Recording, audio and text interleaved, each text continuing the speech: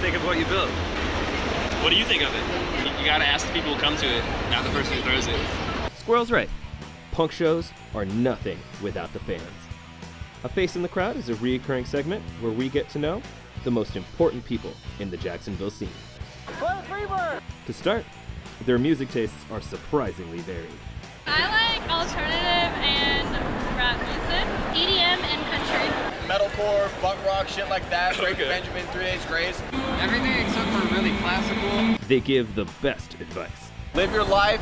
Don't let people stop you from doing what you want to do. You're gonna do LSD, don't do more than two tabs for your first time. If it does not feel right to do, just do you.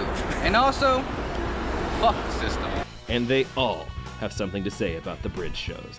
They're just not afraid We're very lucky, yeah. Come to the bridge shows. Yes, come to the bridge shows. Come to a fucking show. I think Squirrel has a lot to be proud of.